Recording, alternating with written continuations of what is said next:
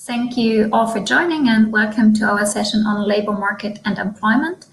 Um, my name is Simone Schotte and I'm a research associate at UNU Wider. And today we are going to discuss the labor market implications of the COVID-19 pandemic and the associated policy measures. And we have a very interesting lineup of speakers with broad geographic coverage with country case studies from Latin America, Asia, and the Middle East and North Africa. And our speakers will specifically look at the impact of the pandemic on workers depending on the type and location of the activities they engage in, the degree of formalization, as well as important demographic characteristics. Um, please feel free to drop your questions in the Q&A section of the sessions tab, and we will administer those at the end of the session, so we first listen to all speakers. Um, so without further ado, I would now turn to our first speaker, who is Samar Abdelmageed, assistant lecturer at the British University in Egypt, and he's going to talk about economic support versus containment measures, an empirical study of the impacts of COVID-19 on labor markets. Hello, everyone. Hope you're all doing well. My name is Samar Abdelmageed. Thank you very much for giving me the opportunity to present my paper, which is entitled Economic Support versus Containment Measures, an empirical study of the impacts of COVID-19 on labor markets. So my presentation will include an introduction and the main research question, followed by the main methods and data employed by the study. Then I'm going to present the main results and end up with a conclusion. So the impacts of the current COVID-19 crisis are undeniable and felt by all countries in the world. To face the pandemic, states all over the world have first enforced a group of actions that aim to limit the spread of the disease. Then they moved to adopt a series of economic support measures to mitigate the economic ordeals that accompanied these containment measures. Therefore, the main aim of this paper is to investigate the impacts of the economic uh, support measures implemented by different countries in the world on the labor market in face of the negative implications of the containment measures. The research will focus more on the MENA region, which is one of the world's regions that have been already facing many challenges in its economies, where one third of the workers are in the risk of losing their jobs or witnessing reductions in their working hours and wages due to the pandemic. To, the, to examine the impacts of the measures adopted by different countries, the study relies on the data of the Oxford COVID-19 Government Response Tracker, which uh, are available for over 180 countries and include uh, an overall government response index along with three sub-indexes including stringency, containment, and health and economic support. Moreover, to study the microeconomic impacts of the pandemic on people living in the MENA region, the study uses the uh, COVID-19 MENA Monitor Survey, which were available for Egypt, Jordan, Morocco, and Tunisia for two rounds in November 2020 and February 2021, comprising a total of 10,478 respondents, including uh, data about their different socioeconomic characteristics. The study fits a group of regression models to examine the impacts of different government response measures on the unemployment rates in 2020, and the logistic um, uh, regression model uh, is fitted to explore the probabilities and the individual socioeconomic uh, characteristics associated with experiencing income decrease during COVID-19 and receiving governmental cash support among people living in the MENA region. So the main results show that many countries have uh, average uh, levels above the world average for the government response index, the containment and health index, as well as the stringency index. However, the average level for MENA is lower than the world average for the economic support index. This can also be shown from the heat map of the overall government response index for individual MENA countries from January 2020 to April 2021, where darker colors refer to higher levels, and it can be shown that the, uh, uh, the overall governance response index had higher levels in the MENA region compared to the economic support index.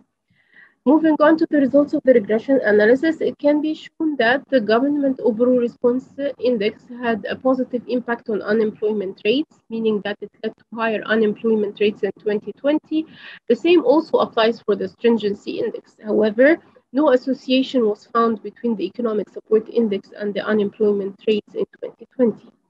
For the microeconomic impacts of the pandemic on people living in the MENA region, according to the COVID-19 MENA Monitor survey, among the respondents, 30.7% reported that they witnessed decreased, uh, decreases in their monthly in their household monthly income by more than 25%. Moreover, among those who reported being unemployed in the survey, 53.3% were private sector wage workers, while 17.3% were employers or self-employed as of the end of February 2020.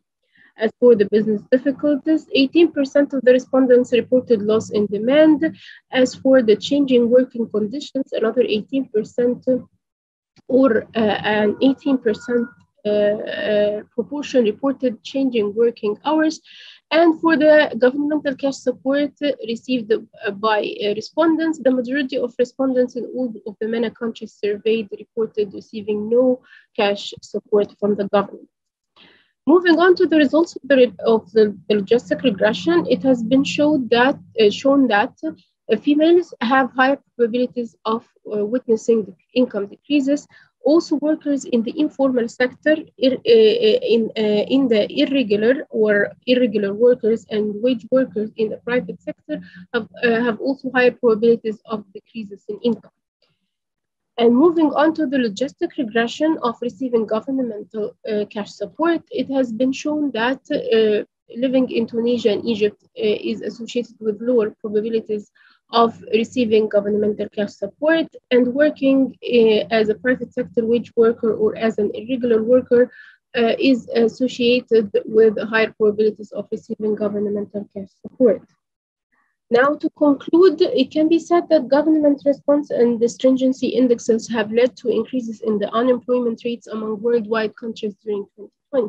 On the other hand, the economic support measures didn't have any significant correlations neither with unemployment nor with GDP growth rates. On average, the MENA region had lower levels of adopted economic support measures compared to the world. And in the MENA region, despite of having an average chance of more than 45% of experiencing a decrease in income, the average chance of receiving a governmental cash support was only about 1.5%. The chances of having income decreases during the pandemic in the MENA region were higher than 50% among females, private sector wage workers, irregular workers, and workers in the informal sector. Being an unemployed female with less than basic education who was previously working irregularly in the private informal sector is associated with a 90% chance of income decrease during the pandemic and only a 1.8% chance of receiving a governmental cash support in the MENA countries. Uh, to conclude, the countries in the MENA region needs to work on expanding and enhancing their targeting mechanisms to reach more of the groups who are most in need of economic support during the ongoing pandemic crisis. Thank you very much for listening. Thank you very much, Samar. Um, we directly would move to our next speaker, who's Francisca Pereyra based at the National University of General Sarmiento in Argentina. And she's going to talk about precarization or protection, the impact of digital platform labor for domestic workers in Argentina in times of the pandemic. Many thanks for having us at the conference. Our presentation is about the impact of digital platform labor for domestic workers in Argentina in times of pandemic. Before starting, a very quick note about the significant weight of this occupation in countries like ours. Domestic service represents 6% of the total occupation in Argentina and 21% of all salaried women. And even though the legislation of the activity is highly protective, the main problem to access labor right has to do with the fact that we still have 75% of all domestic workers in informality. In this context, we decided to study uh, the digital platform Zolvers, which is the only digital platform in the sector in the country. It was born in 2014 it reports having nearly 20,000 active workers in the country. And it's important to note that the platform does not charge workers, rather it charges employers for, for each job placement it makes. So the platform is an intermediary in the sector that contacts employers with workers. Also, employers can choose to join what is called the Zolvers payment system, which is not compulsory but is aggressively promoted by the platform. this system implies that for a monthly fee charged to employers, they receive uh, some services from the platform. Basically, the platform takes care of making all the payment of workers' salary each month through an automatic debit from employers' bank accounts. And also, if the employer wishes so, the platform formalizes the worker. And this means that the platform takes care of all the bureaucratic procedures to do so, and also, again, takes care of all the monthly payments for Social Security by debiting uh, them from the uh, employer's uh, bank account. This has benefits for workers as well. They get a free bank account open when they receive the payment to, through Zolver's system, a debit card, a credit card, and they also access personal loans, which are highly valued by them. Our work is based on in-depth interviews with platform workers, plus a survey of 300 platform workers, where we were able to collect information about nearly 1,000 job positions. And we asked about job positions before and during the pandemic in order to establish comparisons. We also used to the, our Argentina's household permanent survey in order to establish comparisons between Zolvers and the sector as a whole.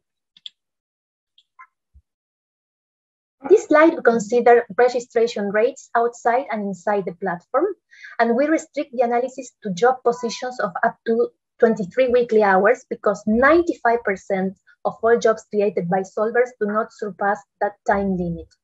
This is the platform uh, overrepresents short hour positions, is more successful in this segment of the, the sector. And these are particularly the job positions that have been more resilient to formalization policies in the country.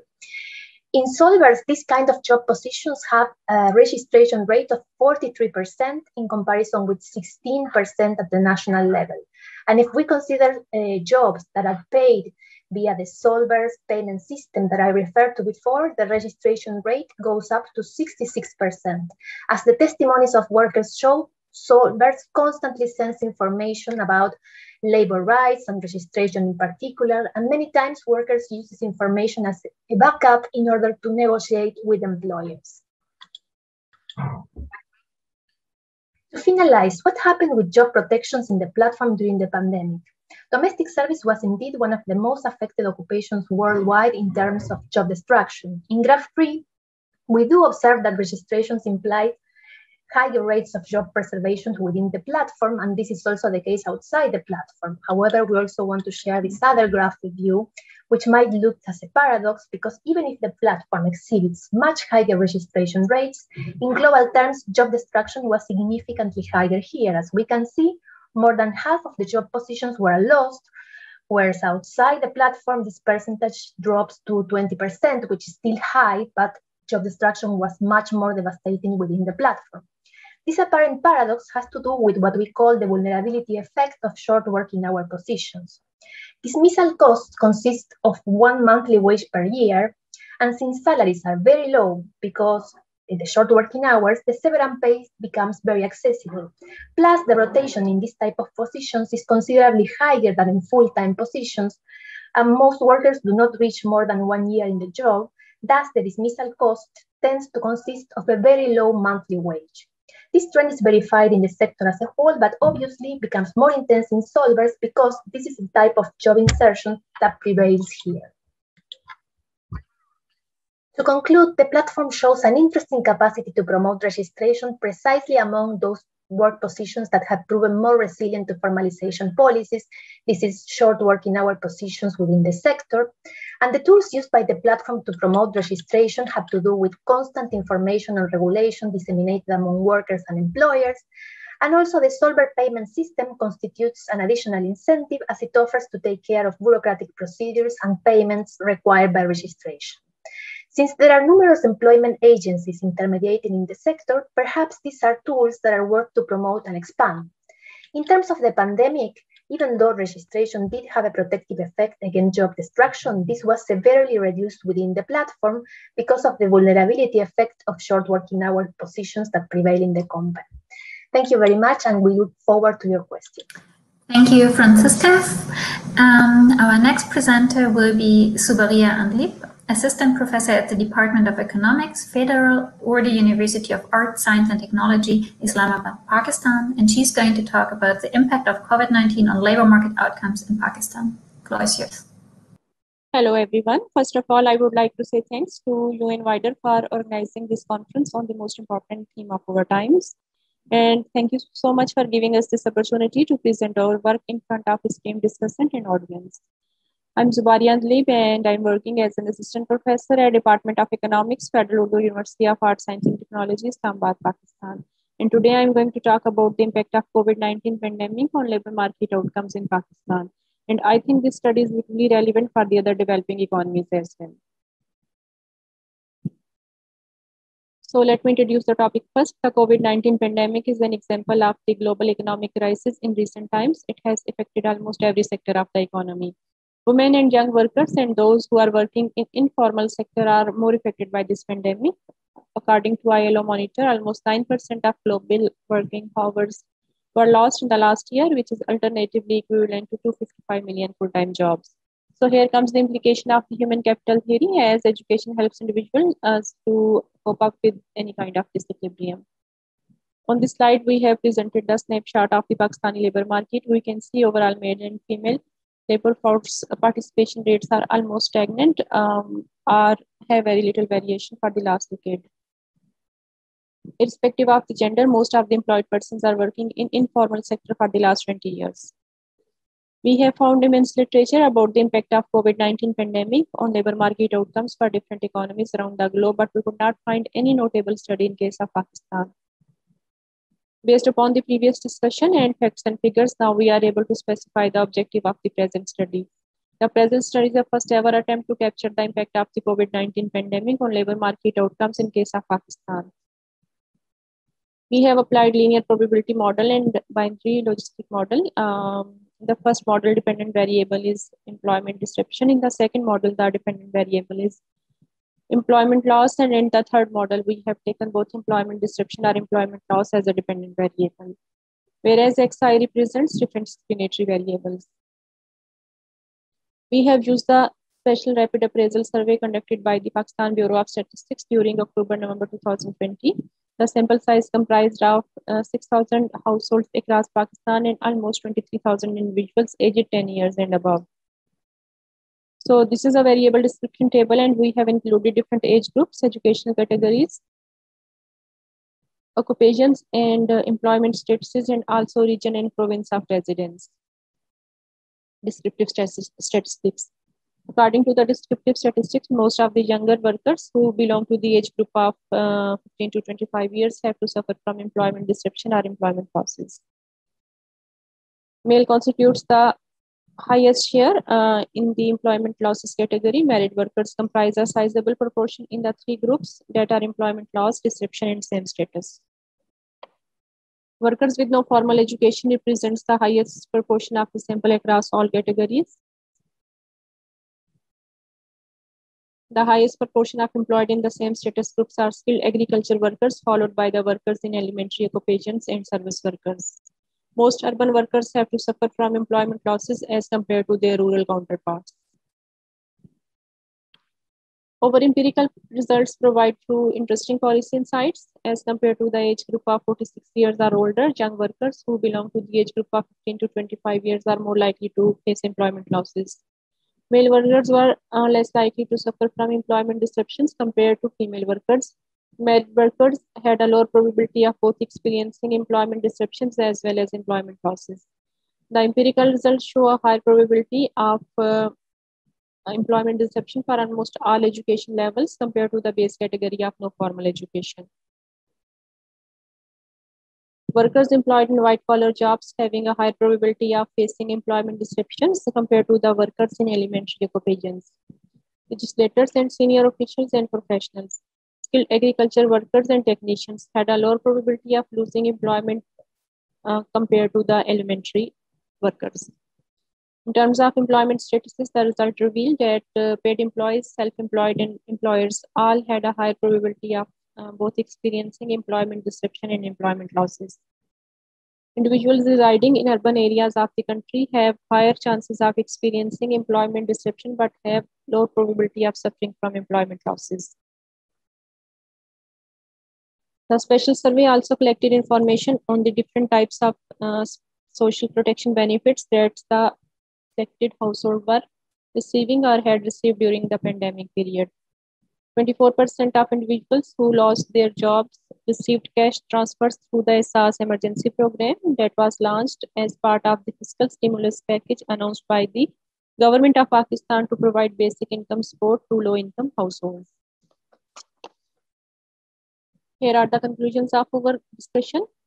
Uh, workers who belong to the younger age group are more likely to suffer from employment disruptions as compared to the reference category uh, KPK province. Workers belong to the other three provinces are more likely to face employment losses.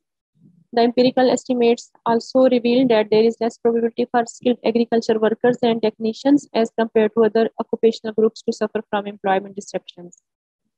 Workers in most occupations faced a lower probability of employment loss compared to the reference category of elementary workers. However, workers with degree level of education had a higher probability of facing employment disruption, while workers with matric and above level of education were less likely to experience to um, in employment loss. Our empirical analysis indicates that to improve the situation for those workers who are suffering from employment losses and disruptions, the government should design special program and policies to provide employment opportunities to the low income and vulnerable segment of the employed community. The empirical analysis also highlighted that there is a need to improve the education level of the adult workforce to uh, increase their resilience to any future employment shock. In future, expanding the access to secondary and higher education is particularly important in this regard. Is also important to focus on digital literacy among the employed workforce. There are few limitations and also we propose the future directions.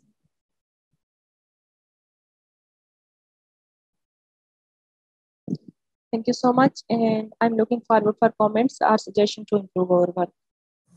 Great. Thanks a lot, um, Zubaria. Just a reminder for our audience to also drop questions in the Q&A section. I try to start off the conversation with two questions there, and please feel free to add. We would then move to our next speaker, who is Adnan Fakir, PhD candidate in economics at the University of Western Australia. Adnan is going to do his presentation live, and I'm going to announce one minute left after six minutes, if that's okay with you. Um, so please, is yours. Thank you. Um, thank you for having me here. Um, we're looking into um, essentially the role of mobility restrictions in halting the spread of COVID-19. And this study was inspired by essentially the lives versus livelihood debate that's been going around um, lately, right? So um, uh, we know that due, due to the COVID-19, we've seen the biggest state-led mobility and activity restrictions. There is a debate as to whether it's it was too slow and insufficient or whether it was too extreme. And also, is it too much or too little? And there's, there's a wide literature out there that um, mentions that it really depends on the effectiveness of these measures. They're not they're examples of when they're not always successful and can worsen the situation. So um, to that effect, uh, what we're really interested in in this uh, in the study is how effective are these measures in containing the COVID-19 contagion and what contribute to their effectiveness. Uh, but of course, we know that any studies like these are primed with endogeneity. So um, we know that restrictions are in uh, response to expected disease situations in the future uh, whereas watchful populations and governments can take early action. So we have to account for this endogeneity. Uh, the way we um, address this endogeneity is we focus the studies mainly on the first phase and taking the perspective that governments in deciding the level of restrictions um, looked at not only the disease situation at their home country, but also what they would expect to happen in the absence of measures, uh, of strict measures. So they looked into uh, actions taken by the surrounding countries as well um, assuming that your countries around you are imposing stricter restrictions, there would be a greater pressure on your own country to enact the same. So um, based on that, we develop a 2SLS model. So it's an instrument variable approach where we look at the stringencies um, in the countries in the particular subregion, except my own country, to instrument for how much stringency I would be enacting in my own country. And then essentially using that to figure out its effect on growth rate of cases and um, other um, other outcome measures as, I, as I'll quickly show. Now, the exclusion criteria here, I will get back to that in a bit. But before that, the data comes from 127 countries, and we focus on the first phase, so 15th Feb to 30th July. We take uh, stringency measures from the Oxford OxCGRT government response tracker. The mobility data comes from the Google mobility data. And the tests, cases, and deaths um, data comes essentially from the Johns Hopkins uh, repository and also from our World in Data. Now, the exclusion restriction hinges on, for example, if I am responding um, to restriction measures in other countries, but not in my own home country, the, um, the instrument becomes invalid. So in that case, we see that that really doesn't happen. In day zero is when the country went under a national lockdown, and we see that that's when stringency jumps up. And that's also where mobility restrictions tend to fall down in majority of the cases. Okay, so the first set of results is just showing that there is a lag 0 and lag 14 effect. In fact, this goes on to lag 28, but we don't show that here, that as the stringency index goes up, there is a reduction in mobility across all these measures and increase in residential mobility. Okay, and we also see a similar effect in terms of case to test ratio and deaths to test ratio. These are the two measures we'll be focusing on, and we believe these are the better approximation of this measure. Now we know that COVID is um, COVID data is riddled with a lot of limitations, which I'm happy to talk about later on. So the next thing we do is we break the effect by certain uh, characteristics of the country. And this is by population demographics and also by other measures such as corruption perception index, democracy score, government effectiveness, and so on. So um, in, in a nutshell, what's really happening is that restrictions curb mobility better in developing countries. Surprisingly, we weren't expecting this, at least using the Google mobility data that we're using. Um, essentially, countries that are more densely populated, poor or more unequal or more polluted, younger but healthy populations and worse health infrastructure, restrictions seem to work better in these countries. However, restrictions contained the contagion better in developed countries, countries that are richer, more equal, less polluted, older but healthier populations, better health infrastructure, countries that are more democratic with better government effectiveness. Now, um, this does not necessarily mean that less mobility uh, translates to better contagion containment. Okay, so um, the next thing that we try to see is that um, compared to changes in mobility, so only due to changes in mobility due to stringent policy measures, how much of the growth rate of the contagion was affected. So we use a three-stage recursive CMP model to assess that.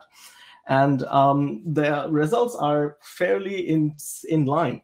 Um, so the way to interpret this table would be that a one unit increase in transit station mobility causes cases to test, test ratios to increase by this amount.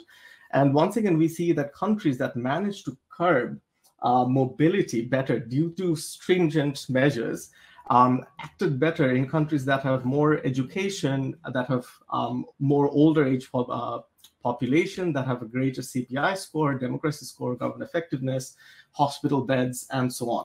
So what's really happening is that um, the reduction in mobility is not really curbing the contagion as much in developing countries as much as it did in developed countries.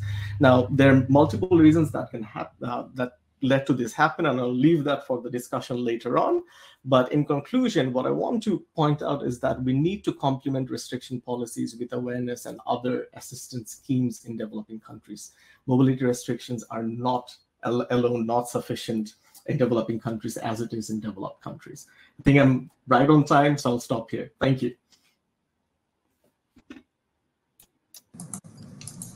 Perfect. Thank you, Adnan, and great timing.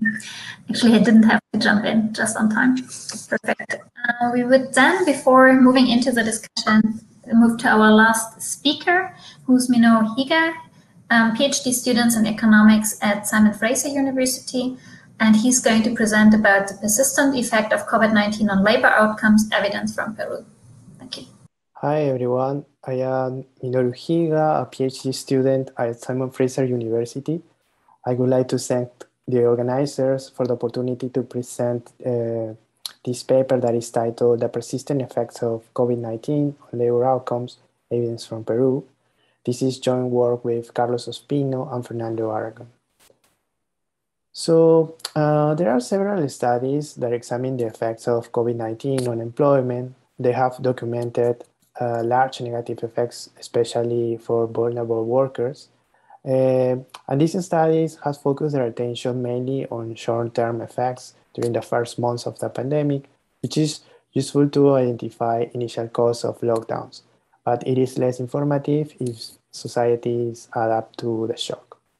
In these studies, there is also limited evidence about Latin America and in particular about Peru, despite being one of the hardest hit countries in the world, as you can see in this graph, where you can locate Peru in the top left corner uh, with the largest confirmed deaths per million people and also the largest drop in GDP. And this is for the second quarter of 2020. So in this paper, we answer the question, what are the short and medium term effects of COVID-19 on labor outcomes? Um, something important uh, to notice here is that uh, we uh, we can only identify uh, the bundle of shocks related to the pandemic, but we won't be able to identify specific policies like uh, social distancing or lockdown uh, from other phenomena that is happening in the disease environment. Um, we're going to focus our analysis for Peru and in particular for Lima, which is the capital city that uh, concentrates one third of the population, one third of the labor market, half of the GDP, and also half of the COVID-19 cases and COVID-19 death related. To answer this question, we are going to use an event study framework and we are going to take advantage of uh, the panel of individuals that we have in our data set that covers the period uh, from January 2019 to June this year. So our results um, from the event study are presented uh, here. So first, we corroborate uh, the dramatic uh, drop in uh, labor outcomes uh, at the beginning of, of the pandemic uh, found by other studies. But something else to notice is that this negative effect attenuates over time. However, it is persistent and sizable uh, even by the second quarter of uh, this year. Uh, so this graph is for hours work, and we have similar results for labor income. A limitation in this study is that uh, there might be some changes in sample composition. So for instance, some subpopulations uh, uh, maybe were difficult to survey during the pandemic.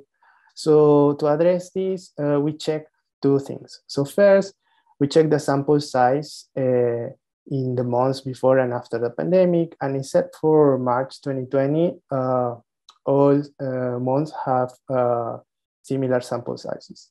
And second, we uh, did this exercise uh, that is reported in the table. So what we did here is, is we restrict our sample or we restrict our analysis uh, to the observations uh, that are in our uh, panel data.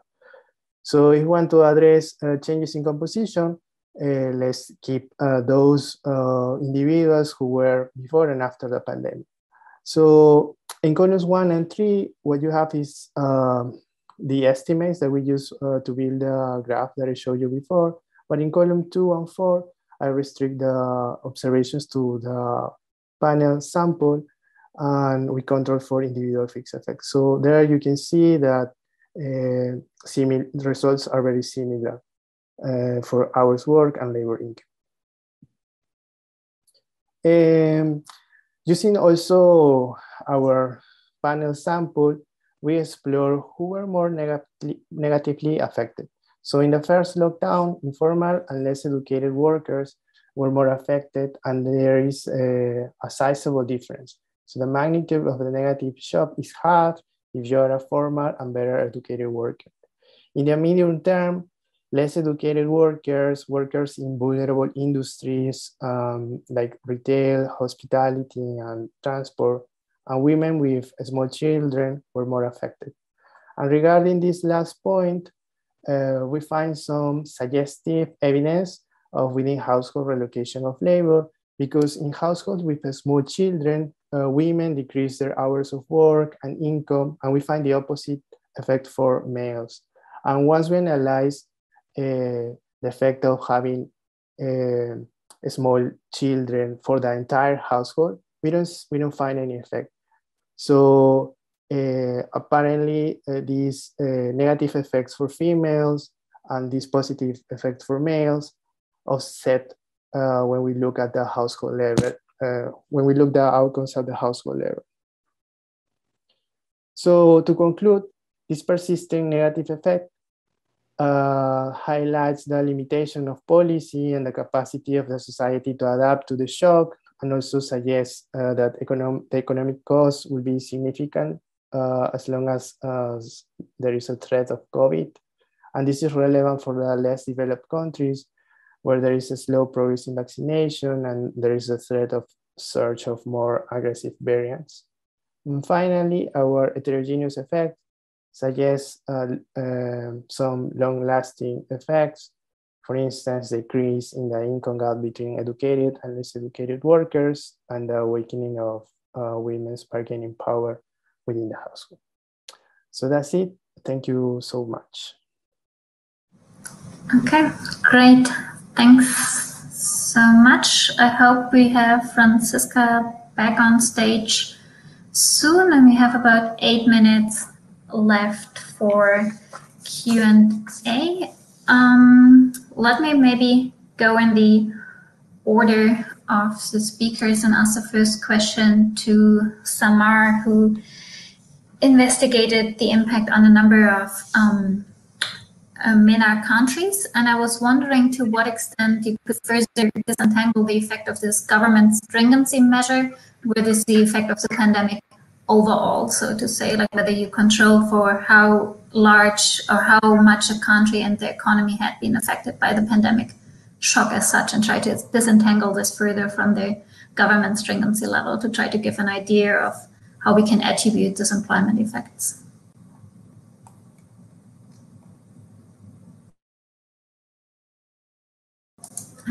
I think you're muted. Yeah, yeah. Thank you very much for the question. So um, the database, which is uh, the Oxford Government Response Tracker database, has several indexes to uh, detect the uh, response to uh, to the pandemic. Um, it has the overall response index, and then it have uh, it it has three sub-indexes. So um, I try to disentangle the effects by um, running the model or using each one of these sub-indexes. So I examine the effect of the overall government uh, response index, which combines all of the indicators used to measure the responses. Uh, and then I try to examine the, the effect of the stringency index, which includes some measures such as the uh, closure uh, restrictions of schools, uh, of public uh, places and social gatherings and so on. Uh, and I found that the, the, overall index and the stringency index um, both have like negative impacts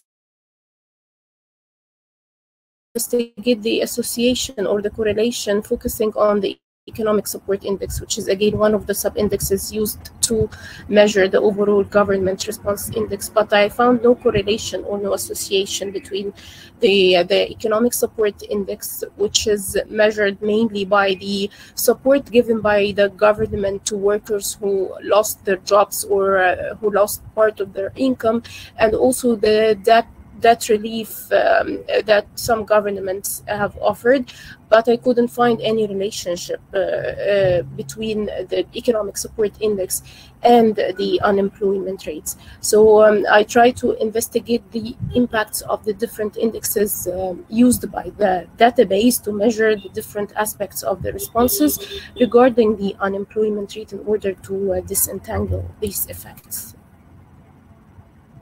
Thank you for clarification. Yeah, just think that mentioned it's hard to identify causality here as policies that usually of endogenous to the but it's quite interesting to see the.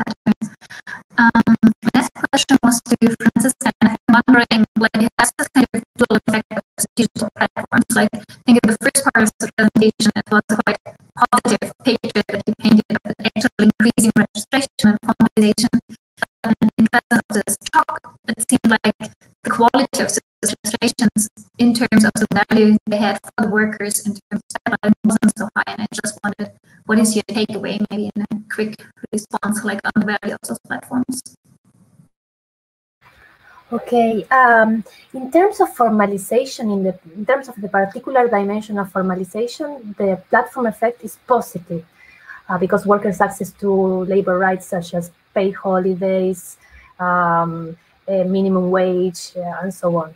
But the problem is that um, they have short working hour positions within the platform, and short hour positions are more vulnerable to job extraction uh, this is this happens inside and outside the platform. The problem is that they predominate within the platform. So perhaps some uh, particular policy in terms of these short hours positions and the severance pays they imply, because uh, it's very easy to dismiss a worker that even if she's formal, uh, if she works for very, low hours, um, she will lose the job during the pandemic, uh, for example. So in, in this particular dimension, formality, the platform uh, has very positive effects, but um, it, because of the nature of the features of the, the jobs that predominate within the platform, uh, job stability is not one of the positive outcomes, not for the platform, not outside the platform. Um, and there are other aspects of the platform I want to point out that are not very bright, but because of time restrictions, we couldn't develop them. Um, I don't want to paint a picture. the platform is uh, an excellent tool because it has many problems. For example, opaque uh, qualification systems, um, low wages, uh, lower than outside the platform, and so on. But um, in terms of formality, which is a big concern in Argentina when it comes to domestic service, the platform has a positive outcome, but it doesn't reach protections because of the short working hour positions that dominate within the uh, the company.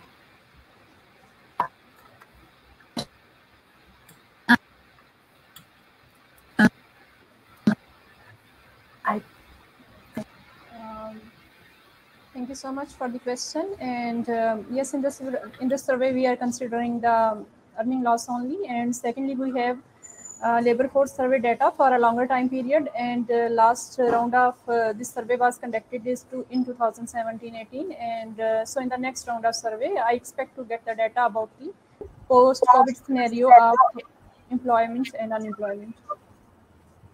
Thank you. Thanks to all the speakers and to the audience. And Adnan, uh, maybe I can ask you now if you still want to hang on or, yeah. or I can send you a message. Okay. I had been wondering about your result, um, where we see kind of a larger reduction in mobility in developing countries, but then a more pronounced effect in the developed countries. And I was wondering whether we have some type of selection effect there, that you're maybe in your mobility data, in the Google mobility data, only capture the better part of the population, kind of more likely to be able to stay home on the one hand, and then the other one I was wondering about whether we might have some type of settlement effect of people just living in very densely populated areas in some sort of township or other type of slum environment where you don't need to move far to get in touch with many people, kind of, and therefore. So just thinking about those two possible channels uh, and your thoughts on this. Yeah, you're absolutely right. Uh, we do control for population density um, at, at a quite a minute level. So that it's that's not something we're worried about. But we think that the data is definitely selected. Um, simply because um, Google mobility data traces people who uses their Google accounts and etc. So there's definitely a selection bias happening there. So that's why we don't like stressing on that particular set of results because it doesn't make sense and there, there's definitely a selection issue going there. But I thought what was more important is the fact that simply the OxCGRT, and without using the mobility data, we do see a stronger uh, fall in containing the contagion um, in, in developed countries. And um, that's what we wish to focus on a bit more. Yeah, but you're absolutely right. There is a selection going on there. And there is another thing is that we can't disentangle. Um, so, for example, when people are self-disciplining versus actually responding to stringent measures, um, the effect is capturing both of them. We can't disentangle the two. Like, is it due to the stringent measures or is it due to a certain subset of the population being self-disciplining themselves. Yeah, that's another caveat that we have. Thank you, Simon. That's that's you're absolutely spot on. Yeah. Great. Thanks so much. And I can actually verbally thank all the presenters and the audience for this very nice session. And I think what we saw across the presentation is that informal workers and workers in more vulnerable type of positions have been particularly affected by the pandemic. Um, and there remains much need for policy to address this in their post-pandemic context. Um, thanks so much and hope you enjoy the rest of the conference. See you all. Thank you. Thank you. Bye.